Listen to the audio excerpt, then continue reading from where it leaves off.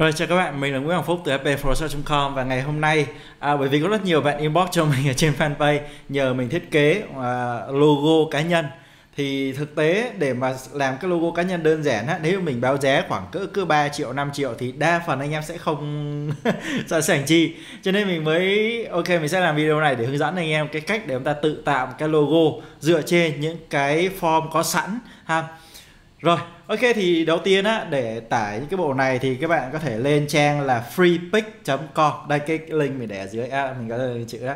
Thì ở trên này nó sẽ có rất là nhiều những cái mẫu uh, cái trang này là trang chuyên về những cái ờ, sản phẩm về design uh, trong đó có logo. Cho nên các bạn khi các bạn vô cái trang này rồi đây free pick. Mình vào lại đó là trang chủ các bạn coi ha. Đây, đây là trang free pick này. Thì trên này các bạn có thể search những cái mẫu logo mà người ta làm sẵn mà người ta share cho anh em. Thì các bạn chỉ việc tải về các bạn chỉnh sửa chữ lại thôi. Ví dụ như là logo à, các bạn đang làm bán hàng chẳng hạn vậy hay là như thế nào đó thì các bạn thể ừ, search ra được. Ha, food logo nè. Đó cho những tiệm mà quán ăn quán cà phê các thứ đồ thì các bạn thể tải về ha. Còn như trên uh, như kênh của mình thì uh, đa số là anh em nhiếp ảnh cho nên là mình sẽ photograph à, fur đây. Thì các bạn sẽ lên trên này các bạn tìm những cái mẫu nào các bạn cảm thấy ưng mắt thì chúng ta tải về chúng ta sửa chữ.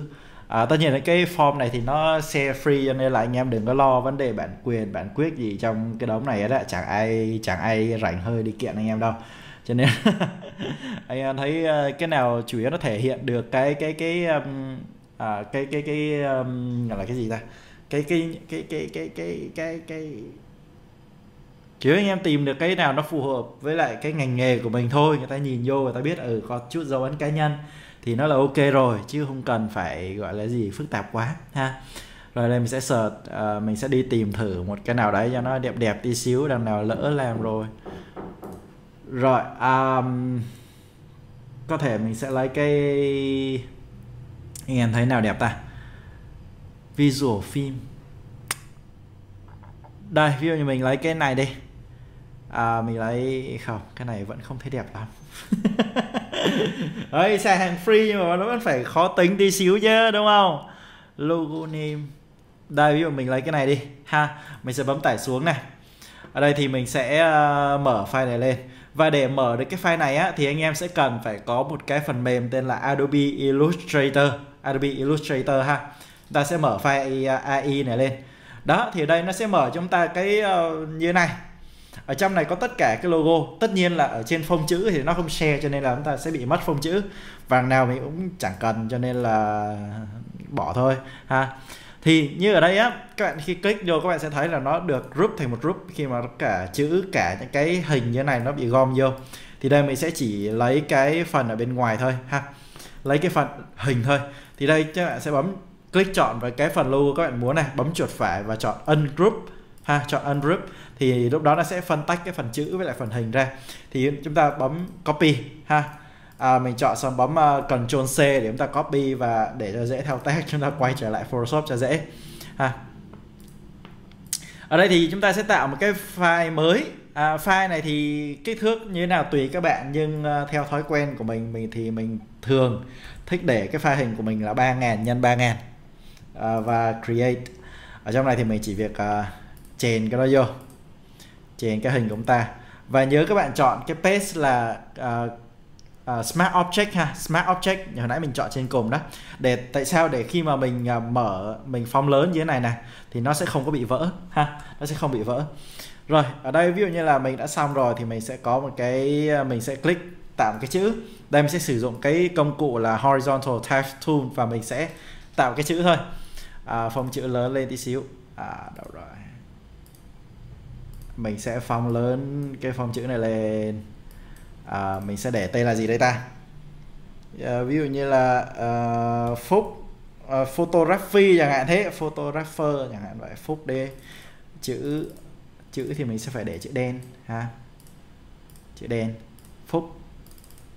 À, nghề nghề nó như nào ấy?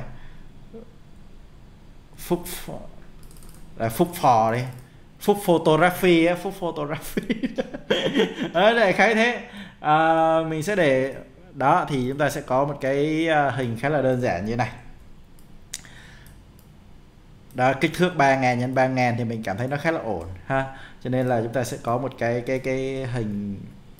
Để cho cái cái hình của chúng ta tùy à, để cho thiết kế cho nó đẹp nha thì các bạn sẽ các bạn sẽ coi thử ở trên cái file mẫu của họ là thường người ta thiết kế như thế nào á thì các bạn sẽ để chữ nó gần giống như vậy thì nó sẽ cho chúng ta một cái kết quả nó ok nhất. Còn nếu như mình không biết mà mình cứ để chữ không để chữ bâng quơ quá thì nó lại sẽ không đẹp ha.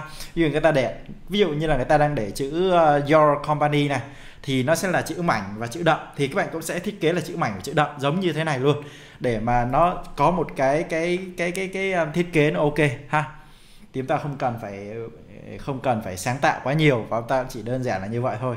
Thì nó sẽ nhanh chóng nhất. Rồi ở đây thì có thể là mình sẽ cho cái logo này nhỏ lại chút xíu để mà chúng ta sẽ có một cái như cái của cái cái thiết kế của cái này này thì nó sẽ là một dòng chữ ở trên một dòng chữ ở dưới. Thì mình cũng sẽ làm tương tự như vậy thôi mình không cần phải phá cái gì cả. Uh, photography photography đi hả? Photography rồi. Ờ, ở dưới này mình sẽ để chữ mảnh đi. Như cái quy tắc thiết kế á, thông thường á, là để cho nó có một cái gọi là cái cái cái trật tự và nó dễ nhìn á thì thông thường nó sẽ là một uh, chữ đậm và một chữ mảnh hoặc là hai cái phông chữ khác nhau. Thì lúc đó nhìn vô nó sẽ có cái độ khác biệt à, và nó sẽ làm cho thiết kế của nó sẽ đẹp hơn.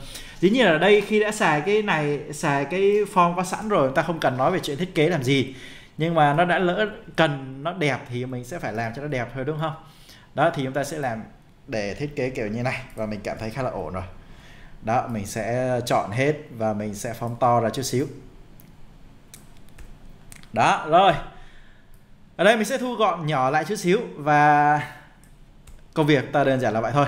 Rồi, bây giờ để cho nó tiện á, thì chúng ta sẽ xóa cái background đi, ha, xóa background đi và ở trong này thì mình sẽ đổi hết những cái um, những cái này thành màu trắng hoặc là màu đen tùy các bạn. À, ví dụ như ở đây mình sẽ đổi hết những cái thành thành phần này thành màu ờ, đen đi. Thì trong cái logo này các bạn thể để ý là nó có cái phần màu trắng này nó không phải là là là trong suốt này nhưng mà mình muốn nó trong suốt. Thì mình sẽ đổi hết nó thành màu hồi nãy mình nói là màu đen đúng không? Nhưng mà thôi mình nghĩ lại cho mình để nó màu trắng đi. Tại vì khi chúng ta để lên hình á thì đa số là màu trắng nó sẽ nó nó sẽ nổi hơn ha? Cái này cũng tương tự như vậy thôi mình sẽ để màu trắng. Mình sẽ chọn hết. À, nhưng mà trước đấy chúng ta sẽ xử lý cái cái phần này. Hồi nãy mình để là smart object ha? Nhưng mà bây giờ hiện tại mình thiết kế là thiết kế xong rồi ha? Cho nên là mình sẽ chuyển nó lại thành rasterize layer để cho nó thành layer bình thường. Sau đó mình bấm chuột phải này chọn rasterize layer. Và đây mình sẽ sử dụng cái công cụ uh, quick selection tool đi. Đâu rồi? Magic one tool đi cho dễ ha? Đó mình chọn vào màu trắng và mình bấm delete xóa đi. Và chúng ta sẽ có như thế này. Rồi bây giờ mình sẽ uh, chọn là color overlay chọn màu trắng. Rồi sau khi xong các bạn có thể lưu lại thành cái một cái hình à, uh, PNG để chúng ta có thể chèn lên những cái hình sau này của chúng ta ha. Chèn lên hình sau này thì nó sẽ tiện hơn. Rồi sau khi uh, chờ nó lưu giờ chúng ta chỉ phải chờ lưu thôi rồi bây giờ mình sẽ mở một cái hình bất kỳ của mình sau đó mình sẽ chèn cái um, cái cái cái cái cái này lại. Mình sẽ chọn cái hình ảnh. À, đây mình sẽ chọn bất kỳ trong một cái hình mà lúc đấy mình đi chơi mình chụp. Đây ví dụ như là hình này chẳng hạn vậy. Đó. Rồi bây giờ các bạn muốn chèn cái hình cái cái logo của chúng ta vô ha. Chúng ta khi mình mở rồi này. các bạn sẽ vào file chọn place hoặc là từ CC 018 trở nên nó sẽ, nó sẽ là place in embedded đúng không? Place embed. Và chúng ta sẽ chọn cái nơi lưu hồi nãy để chúng ta có cái file logo và chúng ta place vào thôi. Đó thì nó sẽ chúng ta sẽ có một cái logo kiểu như thế này. Khá là ổn đúng không? Cho nó đẹp đi chút xíu nữa thì chúng ta có thể giảm opacity đi. Rồi thì đó là cách cách thứ nhất ha rồi cái cách thứ hai để chúng ta có thể chèn cái logo của chúng ta cho nó nhanh á thì đó là các bạn sẽ chuyển cái file logo của chúng ta thành một cái brush ở trong Photoshop. Cái brush này thì chúng ta sẽ làm như sau nè. Các bạn sẽ chọn gom hết cái layer của chúng ta lại ha bằng cách bấm Ctrl Shift E. Ctrl Shift E. Sau rồi các bạn sẽ tạo một layer mới à, uh, Ctrl Shift N. Ok cái rồi chúng ta sẽ fill cái này là màu đen à, màu đen của mình đang ở foreground ở phần uh, nền. À, đang ở background chứ. Thì mình sẽ bấm Ctrl Delete thì nó sẽ fill hết. Chúng ta kéo cái layer này xuống dưới ha. Rồi. Rồi sau sau đó các bạn sẽ bấm Ctrl Shift E một lần nữa để chúng ta gom hết lại. Và để là một cái brush á, thì chúng ta sẽ phải có là cái brush của chúng ta nó màu đen còn nền là màu trắng cho nên mình sẽ đảo ngược màu lại bằng bấm Ctrl Y e. đó thì chúng ta có như thế này. Thì các bạn sẽ vào edit này chọn define brush preset ha. Define brush preset click vô. Ờ, các bạn có thể chọn ờ, logo phúc for. Đó rồi. Đó thì chúng ta sẽ có một cái brush như thế này. Logo Fufo của mình thường nó nằm ở cuối. Đây thường nó sẽ nằm ở cuối. Rồi bây giờ chúng ta có thể sử dụng cái này như là một cái brush. À, có thể thấy là chúng ta có thể bôi thoải mái được. À, mình đang để đây. Đó mình sẽ tạo layer mới này. Đây chúng ta có thể click đó click nhẹ một cái thôi nó thành một cái brush rồi. Thì bây giờ các bạn thể nó muốn to muốn nhỏ gì tùy các bạn muốn màu gì tùy luôn. Đó thì nó sẽ tiện hơn. Thì đó là hai cách. À, chúng ta chế cái logo à, có sẵn và hai cách để chúng ta có thể chèn logo vào trong hình.